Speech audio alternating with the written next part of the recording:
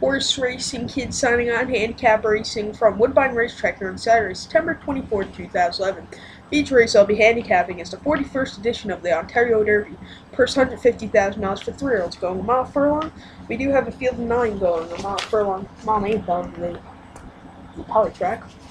And I'll be going with the 1 8 here. Number 1, Moonshine Melon. 5 2, Emma-Jayne Wilson's jockey last time out. At Saratoga on August 27th, a mile quarter in the Travers Stakes.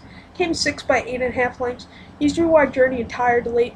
Then at uh, then at Saratoga Mile Nathan Jim Dandy on, on July 30th. Came second by a quarter of a length, uh, by four lengths. He slipped out to 5 16 12 and rallied and then Woodbine Mall Nathan Victoria uh, Park Stakes won by nose. He's was 15-1. He ruled and stretch and prevailed. So I am going with this one. I do like this horse here, and I'll be also going with the eight horse Bowman's Causeway 6-1. Enrico De, Silvio's jockey last time out. Went Saratoga Mile Quarter the Travers Stakes on August 27th. Came in 7th by 10 and a half lengths. He saved ground, had no factor. Then at uh, Fort Erie mile 3 16 in the Princess of Wales for 500,000. Came second by a nose. He's 3 5 path and just missed. And then Woodbine Quarter in Queen's Plate. Came fourth by one a quarter lengths. He just bit at the corporal and chased him in the stretch. So I'm going with this one sir. recap my bets race Murray from Woodbine, the Ontario Derby, going to 1 8.